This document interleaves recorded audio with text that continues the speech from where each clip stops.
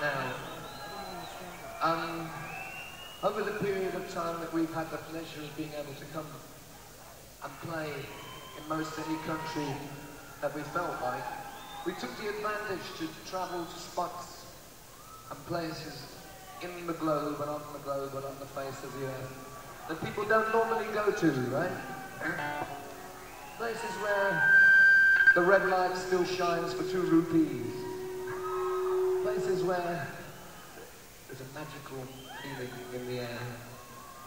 Rather like Paul Rodgers' bedroom when he takes his shoes off. uh,